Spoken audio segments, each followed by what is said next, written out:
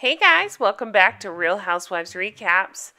Today I am covering something different. We are going to be talking about my new favorite show I found on Netflix Emily in Paris. I am one episode in and I am so completely hooked. This is such a good show. It's by Darren Star, who did Sex in the City, and it's got that potential. It's um, I, I just can't even explain it. It's beautiful. It's beautifully shot. They did a fantastic job. I I just love it, and I'm so excited to talk about it and watch along with you guys. So let's get into it. Hey guys, I just want to take a second and say if you're enjoying this show, please check out my Patreon. Go to patreon.com, search Real Housewives Recaps, or check the comments below and I'll put a link. And for a dollar a week, you can support my show and get four bonus episodes per month. I'm covering Scary Island, like the greatest season of Real Housewives of New York. So check it out. Thanks so much. So it starts off in Chicago, and can I just tell you, like, you know how in Sex and the City they always say the city is the fifth cast member? That's kind of what's happening here. They do these gorgeous shots of Chicago initially, but then ultimately Paris that just they captivate me as much as the show itself does. So immediately we're introduced to Emily, and Emily is cute and young and played by Lily Collins, who I just enjoy watching her. And we get to see a little bit of her personality right off the bat. She's running, she's timing herself against the day before. She's excited because she beat her yesterday time by 15 seconds. So Emily works for Madeline, who is played by the Grey's Anatomy, Kate Walsh. I loved her on Grey's Anatomy. I love the name Addison. I thought she was great. Madeline is just so excited to move to Paris. She has a master's in French. Uh, Emily does social marketing and she has this idea. She's emailed it to Madeline to pitch at her meeting later. And Madeline's like, no, no, I'm going. You need to, you know, become closer with the client. They need to get used to you since you'll be in charge. So all is right in the world as it usually is in these shows. And they're talking about these clients. They have to pitch for this perfume company. And so they're smelling the perfume, and lo and behold, Madeline, it makes her sick. So you can imagine where we're going with this. Yeah, okay, bear with me. This part's a little predictable. She's barfing in a trash can. It's kind of silly, but whatever gets us to Paris, I'm on board with. Meanwhile, we have another beautiful shot of Chicago. Look at this. So Emily meets her boyfriend at a sports bar, and I didn't even catch his name, but he's kind of a dud. I'm sure they're going to last a really long time, right? no, not so much. So she tells him, uh, yeah, I have to go to Paris. She explains that the company still needs someone there, so they asked her to go. Uh, boyfriend's not happy about it. She's explaining the bonus that she gets, apartment all set up, made a spreadsheet of when he can come and when she can fly back. And he pretends to be supportive. You can imagine where this is going. And then it happens. She arrives in Paris. That face she's making, that's the same face I made in Paris. I love Paris. It's one of my favorite cities in the world. So she arrives at a rental, and the agent meets her with a key to the flat. And of course, he's good looking. She's in apartment 501, and this is a big deal, which we'll find out later. But uh, in Paris, the ground floor is ground, and then it becomes one after that, even though for us it would be floor two. Yeah, you get the idea. So this agent is being like overly flirty and asking her for drink, and she's like, "No, no, I got a boyfriend." But I'm so, I'm just so distracted by this view. This view is incredible. Look at that. I live in a shoebox to have that view. That's amazing. So he's thinking her enthusiasm is an enthusiasm for him. She's like, no, no, F off, see you later. So since Emily's alone a lot, we see her doing this. I mean, she's a social media marketing manager. So she does a lot of social media stuff, but she makes these posts, and you can tell her mood based on the way she posts, kind of like Carrie used to write the column. Fashion is also a big part of this show. I want these shoes. and we see her trying to make a good impression as she arrives at her office a day before she's supposed to. So they think she's this overachiever and she's just excited to be there. She's trying to explain in English what's happening. People are having trouble understanding her, so she's using this translating app and it's just not going well. So he goes to get her new boss and let's just say it, she's a bitch. She's a real big bitch. so I have the feeling this is going to be a running theme. Again, I'm watching these as I record these, so I don't know what's going to happen, but the writing's kind of on the wall. So Emily's just trying so hard and overachieving, and the boss is just not overly impressed right off the bat with Emily.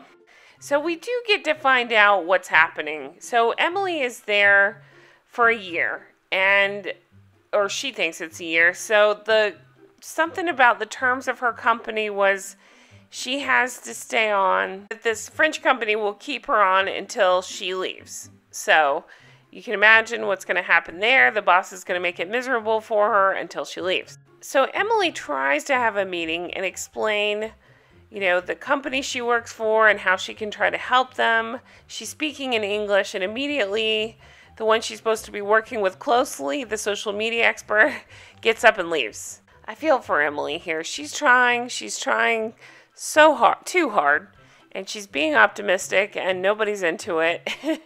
and we'll you know, I, I look forward to, you know, cracking this more and finding out more of what's going on. But it was an interesting way. It's an interesting first day at work. We'll leave it at that. So this is where the mean boss and the head guy talk about it being a disaster. And again, that they have to keep her on until she leaves. And that's where mean boss says, with me as her boss, let's see how long it lasts. A cue sinister laugh there. Wahaha. And then we have this shot of her in Paris, and it's incredible.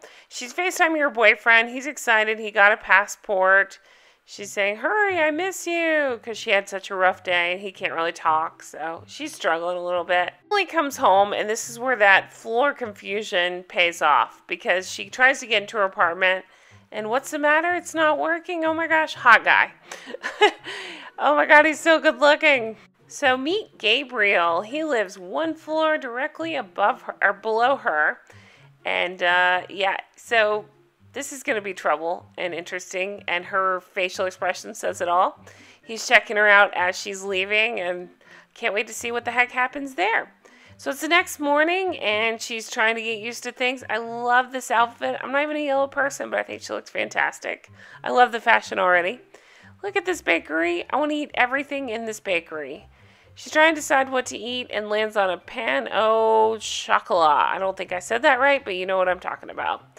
And oh my god, her facial expression when she's eating that thing is so funny. Oh, I want to eat that so bad. But uh, her mind is blown by the butter, the flour, the chocolate. It's just, it's just too much for her. So she goes on to the office. So she gets there at 8:30 and she cannot figure out how to get in. She's really having trouble two hours later, that front desk guy comes up, and yet they don't open until 10:30. So she's been stuck there. She gets in, gets settled, and bitch boss walks by. So that means bitch boss is coming in later. Meanwhile, the social media lady uh, that is scared to death of Emily is they're trying to talk to each other, and again, she just runs away. So yeah, that's going to be interesting to figure out. Poor Emily is just trying to make a friend. She asks everybody to lunch. Her boss says, No, I'll have a cigarette. asks everybody else, and they all say, No.